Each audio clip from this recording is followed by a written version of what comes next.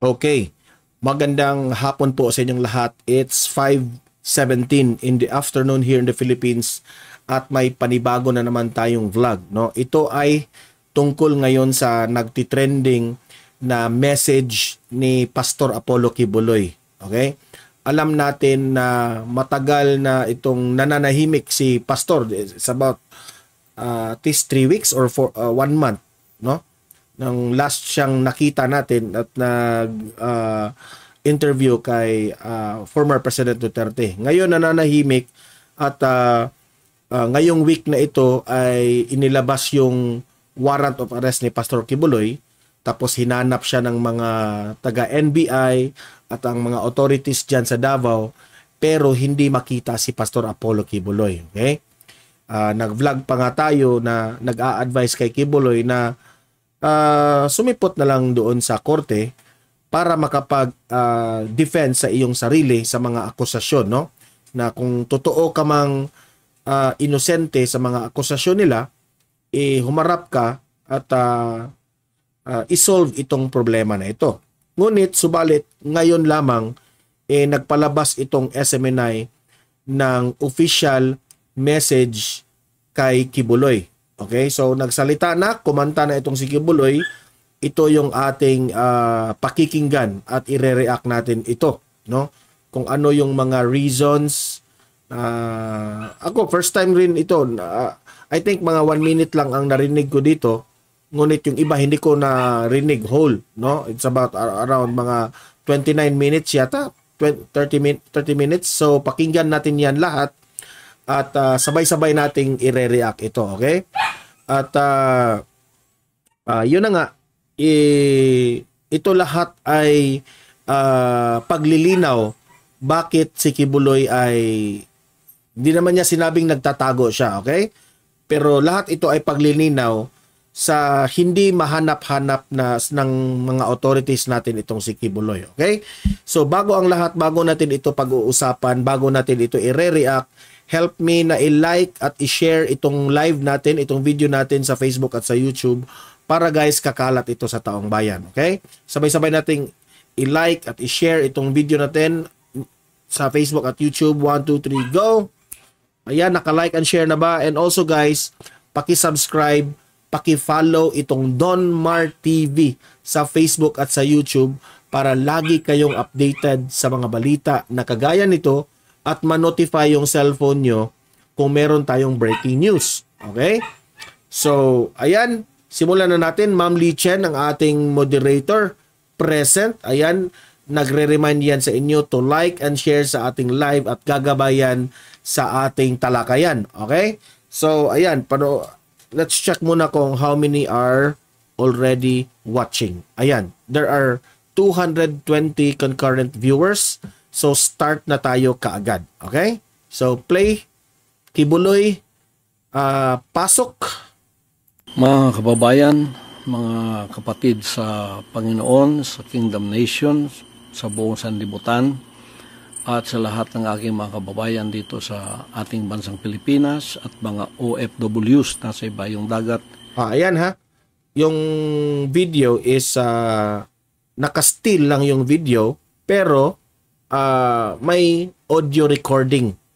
Okay? At uh, may nakalagay April 6, 2024. So talagang ngayon lang ito. Okay?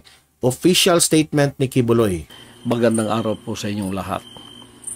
Ako po ay merong mensaheng ipaabot ngayon. Hello po, DG6 Giroy. Good afternoon po, Sir Donmar. Ayan. Alex Caldoza, dapat sa Judicial Court. Ayan. Yon, sa mga nangyayari sa ating bansa at nangyayari po sa akin, sa KOJC, at sa lahat ng mga pangyayaring itong hindi natin inaasahan na ito'y mangyayari ngayon sa ating bansa.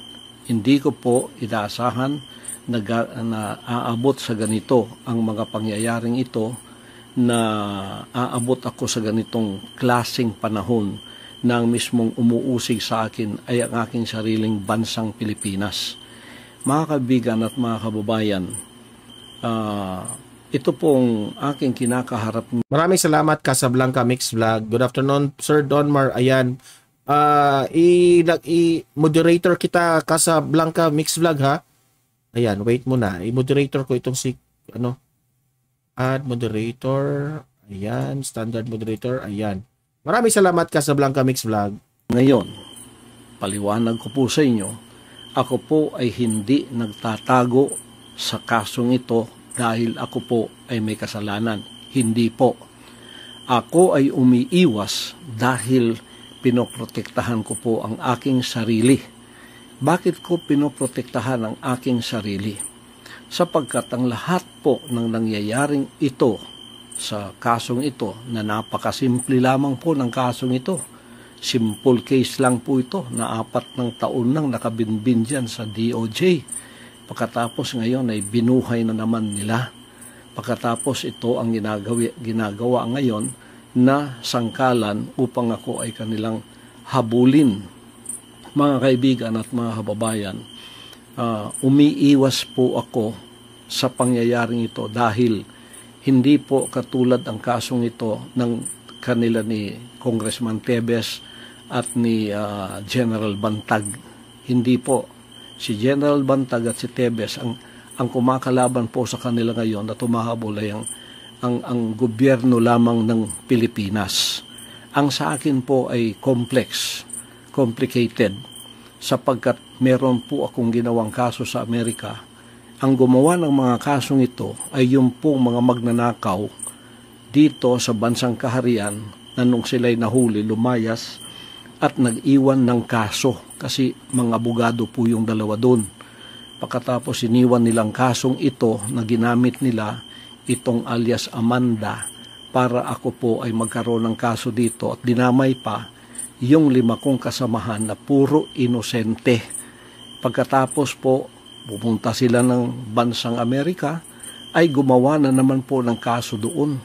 Oh, pagkatapos pinaniwalaan naman sila ng bansang puti sapagkat meron din siguro silang interes sa akin at sa paglago ng bansang karyan sa Amerika. Kaya nagkasundot, nagkasabwat sila. Kaya nagkaroon po kami ng kaso sa Amerika. Hindi po namin gawa yun. Gawa po nila yun. Pagkatapos nito, hinarap po namin ang kasong yun sa Amerika. 43 counts, kumuha kami ng 22 abogado doon at hinarap ang kasong yun na meron na pong sagot ang lahat ng kanilang mga inakusa sa amin. Naghihintay na lang kami ng panahon kung kailan yun uh, ang trial mangyayari.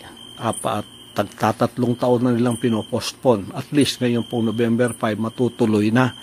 Kaya sila po ay wala ng ingay doon sa Amerika sapagkat ito ay naharap na po ng aking mga abogado. Ngayon. Okay, so yan ang nakapagtataka. Bakit itong mga kaso ni Kibuloy e eh, binuhay uli ng mga kalaban? No, dahil ba ha, pabor sa inyo ang gobyernong ito? Di ba? Ah, sabi ni Kibuloy, hindi siya nagtatago dahil may kasalanan siya. Nagtatago siya dahil pinoprotektahan niya ang kanyang sarili dahil alam niya na tinatrabaho siya dito sa gobyernong ito. Siya mismo ang nagsabi niyan ha. Naging complicated po ang aking sitwasyon dito sa bansang Pilipinas mulang nanalo uh, si Bongbong Marcos at uh, naging presidente. Kaya nga pastor eh naawa kami sa inyo. Ito honest ito ah. Wala ko hindi nako hindi man ako nag uh, bias na nagpapabor. Kaya nga uh, pastor nagtataka nga kami. Ang tanong namin pastor, bakit ka pinag-initan ngayon ni Presidente Bongbong Marcos na malaki man ang itinulong mo nung panahon ng eleksyon? nung panahon, ng kampanya, tilunu, tinulungan mo siya. Ikaw lang yung uh, sa lahat ng mga mainstream media, ikaw lang yung umunawa sa kanya, di ba? Lahat ng mga mainstream media binatikos siya, di ba? Pero ikaw, yung SMNI lang yung nag ano, yung may gana na pinakinggan si PBBM sa lahat ng kanyang mga uh, bumabatikos binigyan nyo ng pagkakataon na marinig ang boses ni PBBM at that time. Di ba? So bakit ka binabatikos ngayon?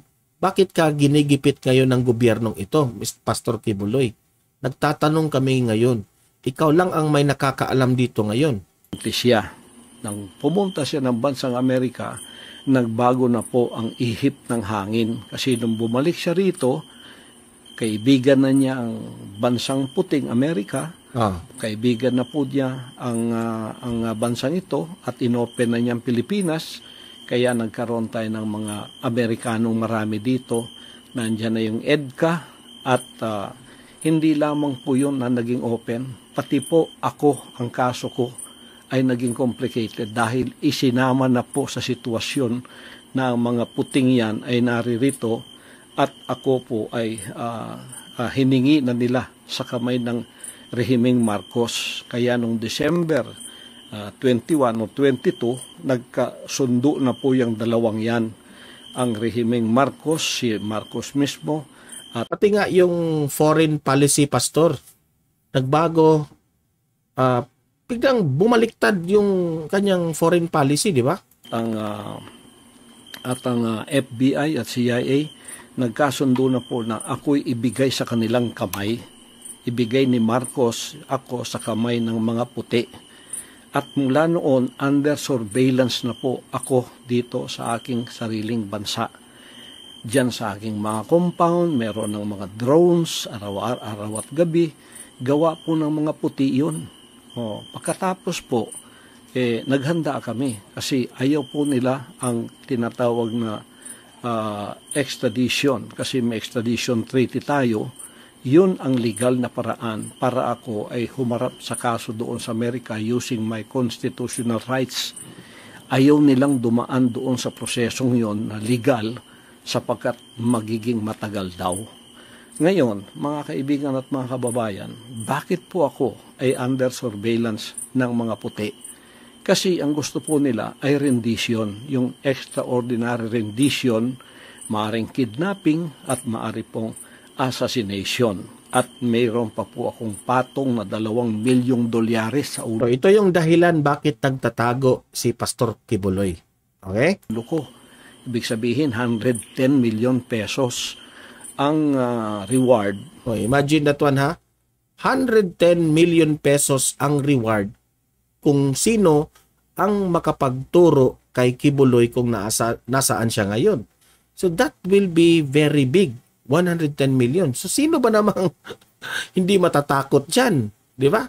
Hindi man natin alam kung yung 110 million pesos na, na yan, eh tungkol lamang yan sa kung sinong makapagturo kay Pastor Kibuloy. What if eh pati itong kung isusutayin si Kibuloy at yan yung reward, di ba? 110 million kung maipasyotayin nyo si Kibuloy, di ba? So, talagang nakakatakot rin, di ba? Sana pakinggan rin naman si Kibuloy sa gobyerno, di ba? Kasi kung ito man ang mga statement ni Kibuloy, eh, biktima rin ito. Di ba? Kagaya ng mga ah, pinapansin ni Hontiveros na biktima no, mga biktima di umano ni Kibuloy. Pero dito rin naman, ha, na mga dayuhan na gustong ah, kunin si Kibuloy, eh, biktima rin si Kibuloy dito. Nangingailangan rin ito ng tulong ng ating pamahalaan. uh, o ang award noong pwedeng humuli sa akin o kaya pwedeng ah, gamitin para ako ay mapasakamay nila ng mga puting ito. Kaya naging complicated po ang kasong yan sapagkat nung nalaman naming extraordinary rendition ng kanilang gagawin na lulusubin kami na illegal sa aming mga compound, nakita po ninyo naghanda na kami araw at gabi ay meron po kaming paghahandang ginagawa na anumang anumang oras na kami lusubin illegally. Kami po itatayo sa aming mga paa tatayo at ipagtatanggol namin ang aming sarili at ang aming mga propriedad na gusto nilang lusubin at gusto nilang ah, by force papasok po sila upang gumawa ng Ang tanong namin ngayon, Kibuloy, Pastor, ikaw lang ba mag-isang nagtago ngayon? O meron kang kasama? Kasi ano eh, kawawa ka naman if ikaw lang mag-isa. Di ba? Ang hirap kaya nun, di ba? extraordinary rendition. Yan po ay pinatotohanan noong February nung dumat John Rivera, kung walang kasalanan, ba't siya matatakot? O, pakiki, ah, ano, uh, ma- makinig ka sa una ng video ko para malaman mo. O, i- in-explain yan ni Kibuloy bakit siya natatakot. O, makinig ka nga, John Rivera. ting yung apat kong abogado dito at sinabing ganun nga ang ah, ang kasunduan nitong rehimeng Marcos at ah, ng mga puting ito na FBI o kaya CIA. Kaya po kami naghanda sa compound namin sa Tamayong, compound sa Davao, compound kahit saan. May mga drones po. Drones yon ng mga puti na nagsusurveillance sa amin nung nakita nilang kami handang-handa para harapin sila sa mga illegal na gagawin nila araw man o gabi, ang ginawa po mga kaibigan, pumasok itong ah, playbook nila na noong pang November ay sinabi na ni Maharlika at ng ating VP na tatrabahuin nila ako. Tatrabahuin nila ang kingdom at tatrabahuin nila ang SMNI, kukuhanan, kukuhanin ng prangkisa. At yung mga workers ko, active man o hindi, bibilhin po nila at gagawa sila ng mga kaso laban sa akin na puro kasinungalingan. Diyan na po pumasok ang Kongreso at ang Senado. Kongreso po walang dahilan. Pinatatawag pagkatapos ang kanilang playbook ginawa na na kuhaan, kukunin o kaya iligwak ang prangkisa ng SMNI. Lahat po ng pangyayari doon, puro murumuron lang po yun. Pagkatapos ako, pilit nila akong ah, pinaaten. Kaya nga eh, obvious nga eh, kasi halos lahat ng kaugnayan ni Pastor Kibuloy itinatrabaho. Di ba? Yung ah, prangkisa ng SMNI. Si Kibuloy, umusbong yung mga kaso niya. 'Di ba? Si Duterte ah pinagbibintangan ngayon na ah, ano raw ah, hinayaan raw yung Ayungin Shon. Ganun ba? So it's very obvious na may konektado ito sa pamumulitika. Huwag na tayong magbulahan dito, rito, di ba? Obvious. Kaya nga, yan sabi ni Robin Padilla, bakit nagkasabay ito lahat? Kung nagkasabay ito lahat, bakit hindi ito tinatrabaho noon sa mga previous na mga taon, previous administration? Bakit ngayon lang?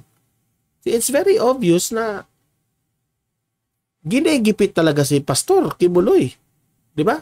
Dahil, alam ko na yung dahilan dyan, Pastor. Dahil konektado ka sa mga Duterte. Eh, Ika, yan sarili ko yung opinion ha, sarili ko yung ano, ah ah, analysis. Tinatrabaho ka ngayon dahil malaki ang factor mo na kaugnayan ka ni former President Duterte. Remember, pati nga si VP Sara, sinangkot nila doon na nagdadala ng jaril ng malaking bag doon sa Glory Mountain mo, which is nakakatawa yon. So it's very obvious na lahat ito, peke ito lahat na script. kahit nakita nila sa mga dokumento na hindi po ako kasali na sa mga opisyal ng SMNI. Pero pinipilit pa rin nilang ako ay ah, pumunta doon. Bakit? Yun po ay patibong. Sapagkat pag anytime pumunta ka doon, siguradong ang end game ay pupunta ka sa kamay ng mga puti. Extraordinary rendition pa rin. Grabe. Eh sa sarili ko ang lugar, gusto nila akong pasukin. Lalo na kung pupunta na ako doon. Oh, iko-contempt.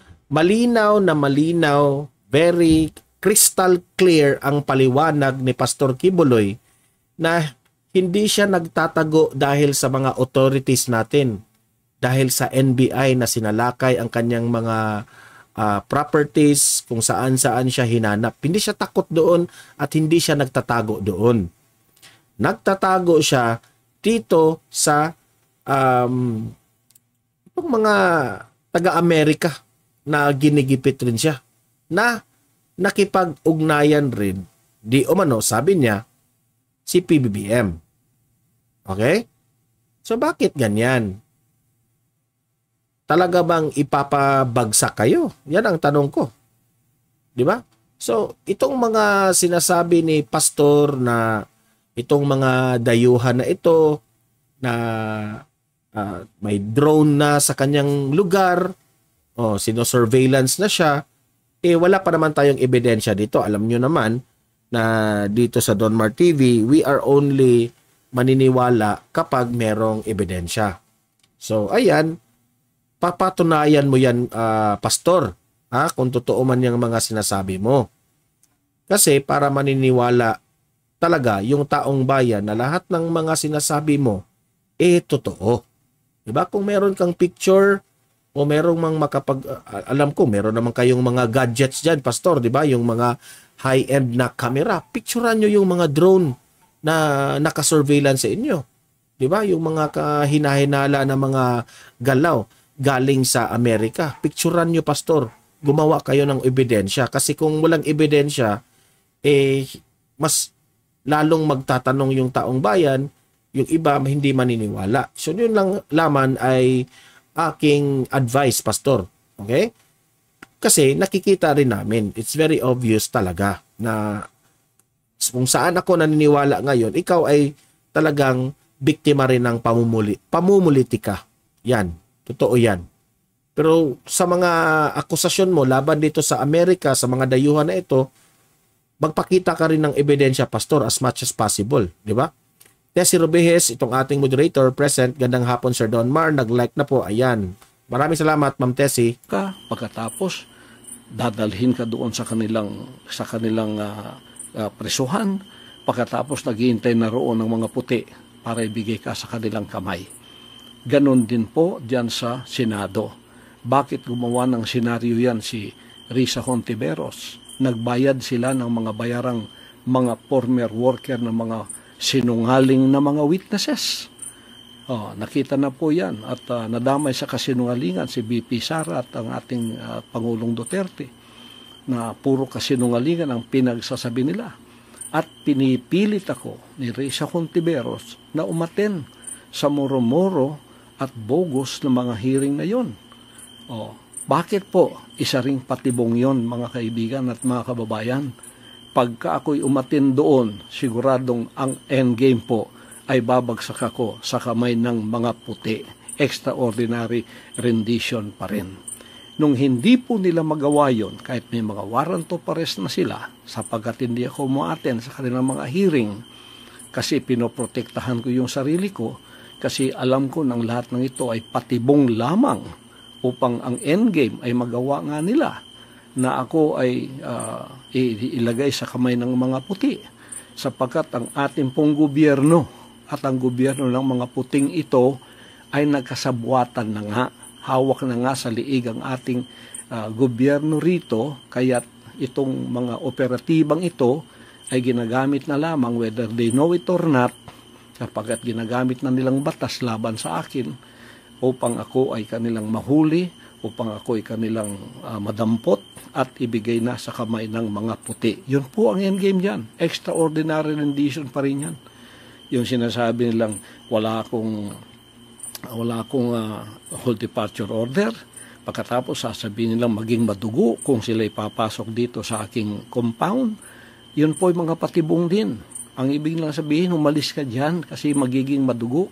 E lalo pa kung hindi aalis. Kasi ako'y tatayo sa mga illegal na activities na gagawin nila ng paglusob. Sabi nila, wala na ka namang uh, whole departure order. Ang ibig sabihin, pwede kang lumabas ng bansa. Patibong din po yun sapagkat sa immigration pa, doon ka na huhulihin at ilalagay ka sa kamay pa rin ng mga puti. Yan po ang endgame dyan. Endgame dyan. Nangingialam po ang bansang ito. Ang bansang puti ang nangingialam sapagkat naging kasabuat na ng ating pamahalaan ngayon dito sa ating bansa. Kaya ang nasa likod po ng lahat ng ito ay ang mga puti. Ang mga drones na yan, surveillance na yan, CIA po yan mga FBI po lahat yan. O, ayaw nilang dumaan sa prosesong tama. Gusto nila extraordinary rendition. Bakit po? Sapagkat yan ay maaring kidnapping, maaring assassination, sapagkat pagka ako'y napunta sa kanilang kamay, sabi pa ng isang kaibigan ko sa Amerika at dito, huwag mong asahan na ikaw ay babalik pa. Mababalita na lang namin na ikaw ay namatay sa pamamagitan ng natural causes na tulad ng heart attack. Ganyan ang mangyayari sa iyo. Playbook po yan. Playbook po yan. Yan po ay playbook ng CIA at ng FBI na nasa likod ng lahat ng ito. Puti po ang nasa likod ng lahat ng itong nangyayari sa akin ngayon. Kaya naging complicated kasi naging kaibigan nila at naging kasabwat ang rehiming Marcos, ang administrasyong Marcos. At sila mismo, si Marcos mismo ang uh, pinagkanulo ako at ibinigay sa kamay ng mga puti na gagawin na nila ang gusto nilang gawin sa akin. Sapag... Hmm. Kaya, itong si Hontiveros ngayon, tinitake advantage ka, pastor dahil alam ni Hontiveros na kakampihan siya ng gobyernong ito. Di ba? At uh, uh, ayaw nila yung kaso doon sa Amerika na mapapahiya siguro sila. Ganito po ang mga senaryo ngayon na nangyayari ngayon sa ating bansa. Nung hindi po nangyayari ang lahat ng ito, hindi ako kumagat sa kanilang mga patibong. Anong ginawa nila? Binuhay nila ang kasong sobra tatlong taon nang nandyan sa sa DOJ na mismo si uh, si Secretary Remulla noong nanalo na si Bongbong Marcos at hindi pa pupunta ng Amerika, sinabi niya, very dismissible itong kaso na ito. Dismiss na ba natin, Pasto? Sabi niya, wag muna kasi para merong kat katuwiran ka na uh, uh, para sa uh, extradition na meron kapang kaso dito. Dismissible po yan. Kaya binangon yan. Ngayon, ginawa pang complicated. Hinati po. Isang kaso lang po yan. Hinati. Ang kalahati Grabe. dito sa Davao, ang kalahati dyan sa Pasig. Ito ay panggigipit at pagpapahirap. Tinan po ninyo, noong implement nila yung warrant of arrest, dito po, sa kasong itong binuhay nila, dismiss na po yan. Uh, mag-apat na taon nang na-dismiss yan dapat nga wala ng prosecution, uh, wala ng kaso yan eh. Dapat binasura na yan kasi fail to prosecute yan eh. Failure for, to prosecute.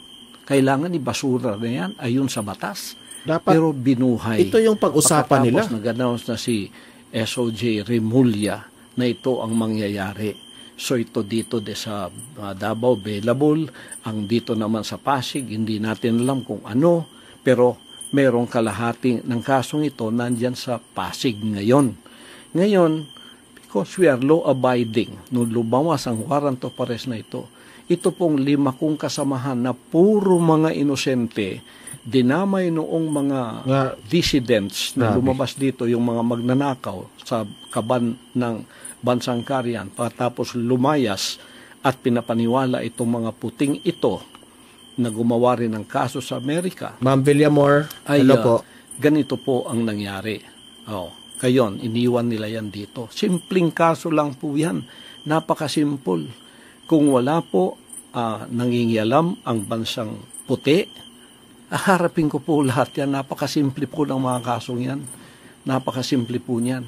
Kaya lahat ng pang, na ginagawa nila sa Kongreso, sa Senado, puro po yan patibong o hindi ko alam kung ang 2 million dollars which is 110 million pesos nasa kamay na ng mga atat na atat na ito Grabe. Uh, na uh, na maging award nila kaya atat na atat silang ako ay kanilang madampot. So dapat yan pastor, may ebidensya ka ha, Pat papatunayan mo yan.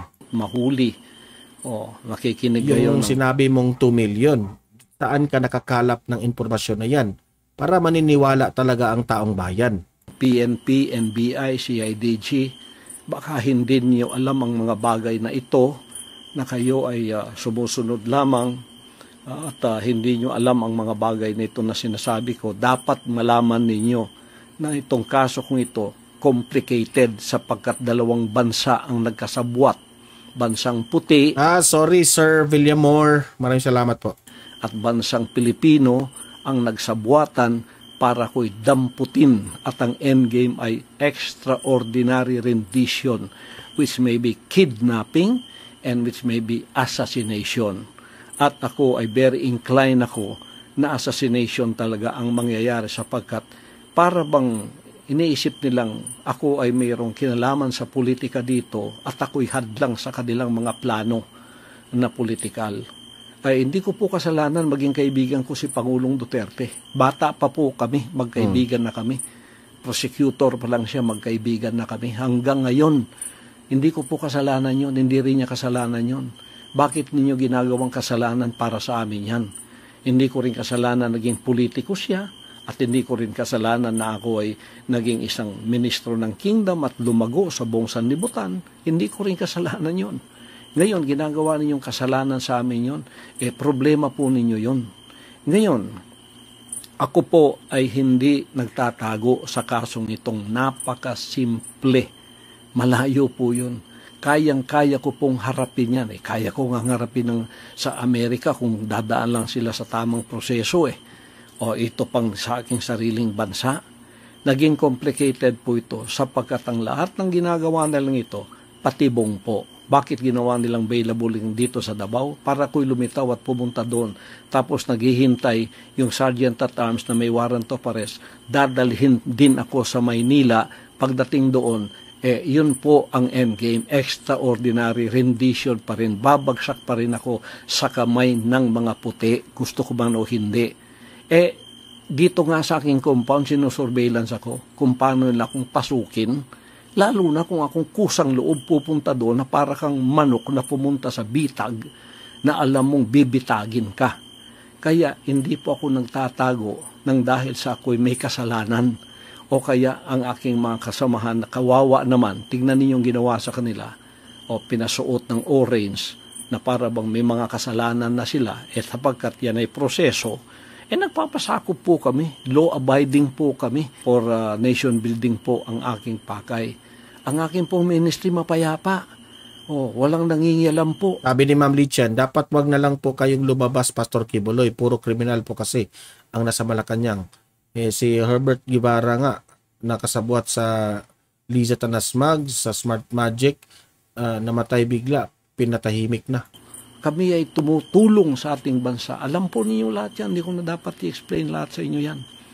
Ngayon, bakit po ako ay hindi pupunta doon? Simple lamang po yan, available eh. O pagkatapos, simpleng kaso pa. Pero ang endgame, dadalhin ka rin sa Maynila. O dadalhin ka rin doon. Hindi ka nila maku, hindi ka nila mapa, ma, hindi ka nila ma, ma, ma, ma, ma, mapapunta doon sa Senado. Ganito yung kanilang endgame doon pa rin ang bagsak ko. Ang, ang katapusan, extraordinary rendition pa rin. Babagsak pa rin ako sa kamay ng mga puti. Mga kaibigan, yan po ang iniiwasan kong mangyayari sa akin hmm. sapagkat I am preserving myself. Ito po ay uh, wisdom ng Panginoong Diyos to preserve myself. Iniingatan po ako ng Ama na hindi ako pupunta sa patibong ng tao para mangyari ang kanilang gustong gawin sa akin na kanila akong uh, bawian ng buhay sapagkat ako'y hadlang sa kanilang mga plano. Yan po ay pag-iingat ng banal na Diyos sa akin. Gusto ninyo akong lumitaw para harapin ang lahat ng ito? Ito po ang kondisyon ko. Oh, bigyan ninyo ko ng garantiya na hindi mangingialam ang mga puti sa kasong ito sa Pilipinas hindi mangingialam ang FBI, ang CIA, ang US Embassy. O, bigyan ako ng garantiya ng presidente ng Pilipinas. Bigyan ako ng garantiya ng uh, ng uh, Secretary of Department of Justice Boying Remulla. Written po yan ha, written. Bigyan ako ng garantiya ng PNP head na si Marbil General Marbil. Bigyan ako ng garantiya ng NBI head at CIDG. May garantiya na hindi mangingialam ang Amerikano at walang mangyayaring extraordinary rendition. Ako po ay lilitaw at haharapin ko ang lahat ng kasong yan kahit saan nyo dalhin dito sa Pilipinas, maging Pasig man o maging dito man. Uh, pagkatapos, si Hontiveros dyan sa Senado, uh, ihinto mo na ang iyong murmuro na uh, hearing. Dumiretso ka na sa korte. Tulungan mo yung mga sinungaling na mga witnesses na yan na gumawa na sila ng affidavit sapagkat idagdag mo na yan sa kaso. Doon Grabe. din ang bagsak natin kaya doon ka na pumunta. Huwag ka nang magpa-arte-arte pa dyan sa, sa, sa Senado. Ang dami mong arte. Ako ang ginagamit mo. Ginagamit mo uh, para ikaw ay pumunta sa mas higher position. Kaya nga, Pastor, eh, nagtataka kami, bakit uh, kaagad siyang naniniwala dito sa mga uh, testigo at sa mga di umano biktima? Alam ko na ang galaw mo, alam ko na yung style mo. Puro sinungaling ang kasama mo. Sa sino ka? Kung ikaw kumuha ka ng sinungaling na mga witnesses, ano ka? Di ba sinungaling ka rin? Correct. Kaya huwag ka na mag-inarte dyan. Pumunta ka na doon sa korte sapagkat hindi ka naman korte. Ngayon, kung gusto mo ako talagang pilitin pumunta riyan, eh, gumawa rin kayo ng, uh, ng nararapat. Yung 17 conditions ko, harapin ninyo yon para pantay tayo dyan sa Senado mo. Eh malabo nang mangyari yun eh kasi moro-moro na lahat ang ginagawa ninyo. Extraordinary rendition pa rin. Ah, ang sabi ni Ma'am Tessie, nagpapasikat lang yan si Riza Honteveros. bagsak natin. Bagsak pa rin yan. Nasa kamay ako ng mga puti. Yun pa rin ang end game. Hindi ko alam kung ang 2 million dollars ay nasa kamay na ng mga taong itong atat na atat na ako'y kanilang madampot, makuha at sila ang makikinabang sa perang ito. Hindi ko alam. Ah, pero yun ang endgame na alam kong mangyayari. Kaya umiiwas ako sa injustice na yan. Kung hindi po ninyo magbibigay sa akin in a written form ang mga kondisyones na ito mula sa Office of the President, mula sa Office of the SOJ, mula sa Office of the PNP, and hmm. the uh, NBI, and the CIDG, eh, hindi po niyo makikita ang pagmumukha ko. Kung ako, imamanhunt ninyo tulad ng sinasabi ninyo na para bang ako'y talagang kriminal. Hindi naman ako drug lord. Hindi ako sumisinghot ng drugs. Hindi ako drug lord. Wala akong, wala ako dyan. Itong kaso lahat na sinabi sa akin na puro accusation. Akusasyon po lahat yan. Gawa-gawa lahat yan. Hmm. Tapos ginawa na ninyo. Accusation meaning hindi pa proven guilty. Kaya nga ipunta ito sa korte. Totoo. You tried me by publicity. Trial by publicity ang style ninyo kasi wala kayong wala kayong wala kayong laban sa korte. Hindi kayo patas. Ma'am Lee Chen, uh, nilagyan ko na ng jacket si Ma'am Villamor, uh, Sir Villamor. Makilaban. Ito naman bayarang media, pagkakasinwalingan, pagkakasiraan, aba, nandun kayong lahat. Pero yung rally namin, kahit isa, wala kayong kinover pagka mabuti, wala kayong kinocover. Lahat ng binabalita niyo sa akin, puro masama. Kay si, masasama din kayo, bayaran kayo ang tawag ko. Correct. Sorry ha, media, kasi may media rin kami, eh, ang SMNI. Hindi niyo mabili yan eh. O, ngayon, ginugurgur ninyo dahil hindi niyo mabili. Correct. O, ngayon, maliban. Kasi ang SMNI, ito lang yung mainstream media na hindi talaga natatakot na mag-criticize ng ating gobyerno. 'Di ba? Tingnan niyo yung mga media ngayon. 'Di ba? Takot na sila. Kung bigyan niyo ako ng garantiya na hindi mangingialam ang mga puti, FBI, CIA o sino pa man sa kanila, haharapin ko ang kasong yan. Simple-simple po mga kasong yan. Lalo na puro mga sinungaling ang kaharap namin. Dokumento po ang nasa aming mga kamay. Bakit hindi ko haharapin? umiiwas po ako dahil ang playbook ninyo alam ko. Ang katapusan is extraordinary rendition. Mapasakamay ako ng mga puti, magiging klaro em recto number 2 ako, mamamatay ako sa kanilang kamay, ianaw sa buong sanlibutan, heart attack ang ikinamatay ko. Pero Grabe. patay na ako. Yan ang end game ng playbook na ito. At hindi ninyo yan pwedeng ipagkaila maliban kung ibigay ninyo sa akin ang garantiyang aking hinahanap, hindi po ninyo ako makikita. Sige, imanhunt ninyo ako. Ako'y tatayo na hindi magpapasakop sa injustice. Ako'y hindi, ako'y hindi magpapasakop sa tyrannical rule. ako'y hindi magpapasakop sa oppression and suppression of my rights. Correct. Pagka ako'y binaril ninyo, papatay ninyo, mabuti pang ako ay mamatay sa kamay ng mga Pilipino, ah, dito sa aking bansa tutulo ang aking dugo, kaysa ako ay mamatay sa kamay ng mga puti na nasa ibayong dagat, nasa kanilang bansa o sa Exactly. ibang bansa ako dadalhin. Hindi po ako papayag sa ganun. Kung imamanhunt ninyo ako, kayo mga CIDG, kayo mga NBI, kayo mga kapulisan, yan ang senaryong haharapin ninyo. Magiging martir akong tulad ni Rizal. Magiging martir akong tulad ni Bonifacio. Pero tatayo ako sa aking kinatatayuan. Kung kayo, mga oppressor ko ngayon, ay hindi na mga banyaga, ginagamit kayo ng mga banyaga, nagkasabwatan kayo para sa aking harapan, banyaga pa rin kayo. Tatayo ako laban sa inyong oppression, sa inyong suppression of my constitutional rights, at tatayo ako laban sa injustice ng gobyernong ito. Mabuti pa, uulitin ko, mamatay ako, tutulo ang dugo ko sa sarili kong bansa na nakatayo ako sa sarili kong paa na hindi ko ipinagbili ang honor ko at ang honor ng aking pagtayo bilang isang tunay na pastor, bilang isang tunay na mamamayan na hindi nagpapasakop sa panlilinlang, panggigipit, pangingikil at sa pagsisinungaling. Oh, ako po ay lalaban sa ba- banta, ba- ah, mga mga kasinungalingan na ganyan. Ako po, pag nahuli ninyo, hindi ako magpapahuli ng buhay. Barilin na lang ninyo ako. Kung ako'y huhulihin ninyo, hindi ninyo ko mahuhuli ng buhay maliban kung ibigay ninyo ang garantiyang hinihiling ko sa inyo. Sasabihin kong muli, simple mga kasong ito, kahit sa Amerika, simpleng mga kaso kasi puro kasinungalingan. Harapin namin lahat. Basta dito sa Pilipinas, wag lang mangingialam ang bansang puti.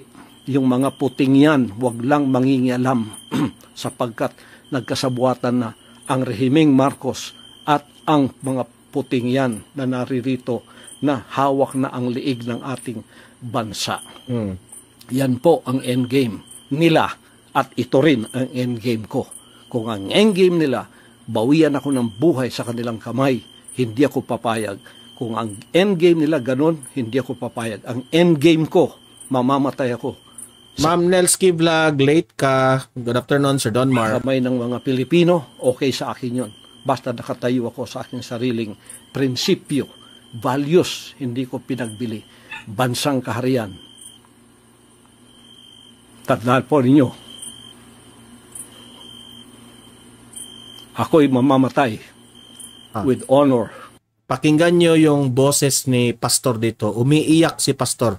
Meaning, itong mga sinasabi niya, talagang ah, heartily ito at ah, nakalastay talaga sa kanyang dugo yung kinang, kanyang pinagsasabi. Ah, pakinggan nyo ha. Tatayo ako para sa mga ginipit, kinunan ng katarungan, kinunan ng hustisya sa bansang ito. Dito tutulo ang aking dugo. Dito ako mamamatay. Bahala na. Basta Pilipino ang papatay sa akin, okay sa akin yun. Yun lang man po. Pagpalain tayong lahat ng ating dakilang ama at naway manumbalik ang kapayapaan, ang katarungan, justisya sa bansang ito. Salamat po. Mga kaba- Grabe. Alam nyo no? Sa totoo lang, ito yung aking ah, n- reaction tungkol dito sa video na yan. Eh, si Pastor, mga kababayan, mga teka muna ha, teka mga muna, kapatid sa teka muna. Ayan, nakapause ba? O, ayan. Ito lang yung aking masasabi dito. Ah, sa sarili kong opinion, ako, no, naniniwala ako na lahat ng mga sinasabi ni Pastor, eh, may kaugnayan ito talaga sa kanyang experience. May kinaugnayan ito sa kaso niya doon sa Amerika. Okay? So lahat yon inexplain ni pastor at naiintindihan natin.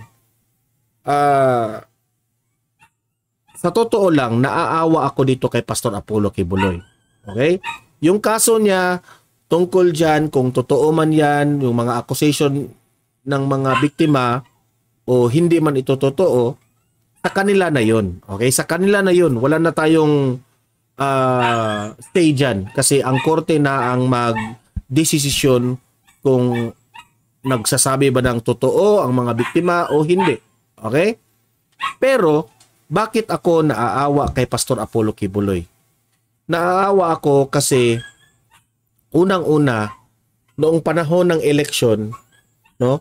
Siya talaga yung tao na binigyan niya ng pabor si uh, Presidente Bongbong Marcos. Siya lang yung uh, mainstream media na talagang umunawa kay PBBM na buong akala ni Pastor Kibuloy dahil sa pagsuporta niya kay PBBM eh magkaroon tayo ng magandang kinabukasan sa ating bansa. Okay? Kasi ang layunin lang naman ni Pastor Kibuloy ha, sa pagtatanggol niya kay PBBM noon eh para rin yan sa kapanga, kapakana ng taong bayan. ba? Ngunit anong nangyari ngayon? Eh nagigipit na siya. Di ko nga alam, hindi ko maiintindihan bakit nagkaganito? Bakit si Pastor Kibuloy ngayon ay medyo nakasalalay ang kanyang buhay? Di ba? Of all the things he has done to Presidente Bongbong Marcos, eh nagkaganito na ang kanyang sitwasyon.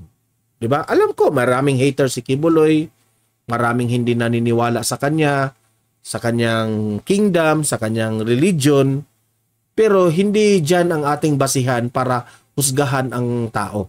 'Di ba?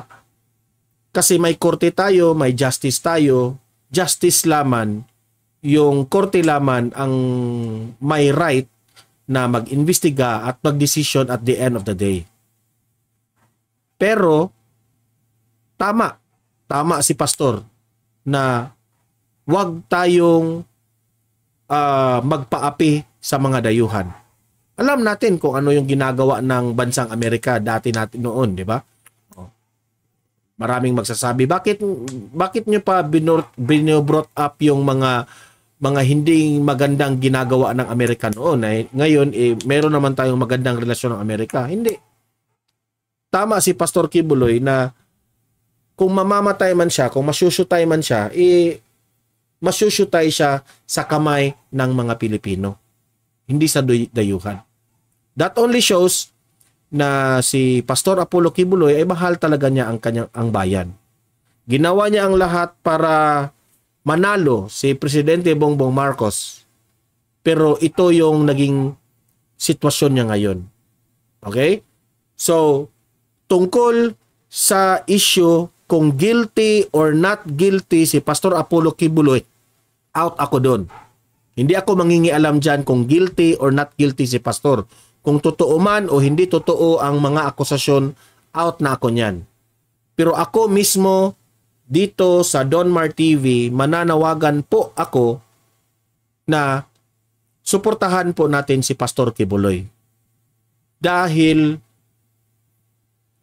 itong pastor na ito itong si Pastor Apollo Kibuloy, ako masasabi ko, hero itong si Pastor Kibuloy. Bakit ko ba nasabing hero? Ito lang yung taong may bayag na nakipaglaban sa mga kalaban ng gobyerno, yung mga NPAs. Ito lang yung uh, tao na yung kanyang main, yung kanyang media Ha? Hindi siya takot mag-criticize kung may kasalanan ka talaga. Pati nga, ang gobyernong ito, criticize without filter. Ito na lang SMNI ang media na boses ng taong bayan. Kaya masabi ko, Pastor Kibuloy, you are a true hero of this country. Do not worry, Pastor Kibuloy, susuportahan ka namin 100% sa mga ipinaglaban mo tungkol sa ating bayan. Dahil ikaw lang yung tao na, na nauunawaan si former President Duterte. Ikaw yung nagtanggol sa mga batikos laban kay former President Duterte at ni Vice President Duterte na tunay na mga may malasakit sa mamamayang Pilipino.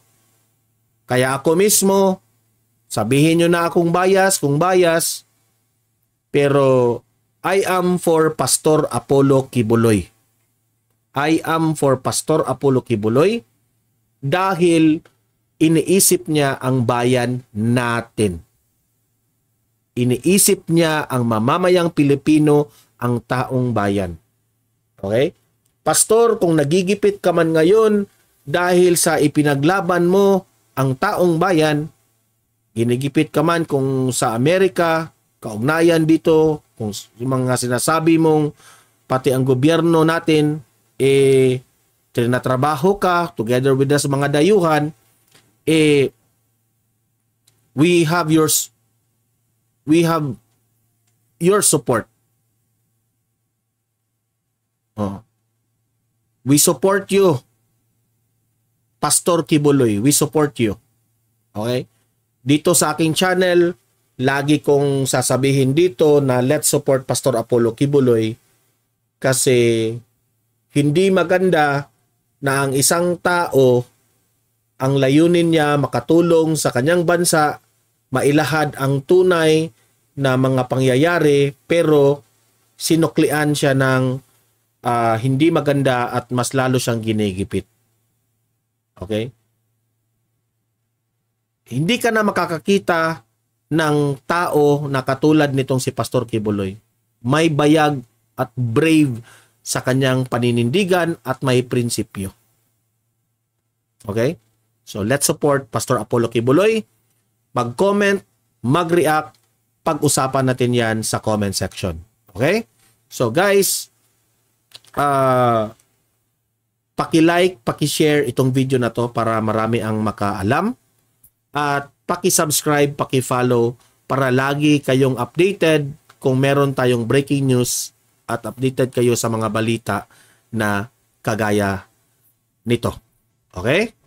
So, mabuhay ang aking mga moderators, Miss Butterfly, Ma'am Lichen, itong bagong moderator na si Ma'am Villamor, uh, Sir Villamor, Ma'am Nelsky Vlogs, Ma'am, Ma'am Lichen, Tessie Robejes, ayan, Maraming maraming salamat sa inyo po.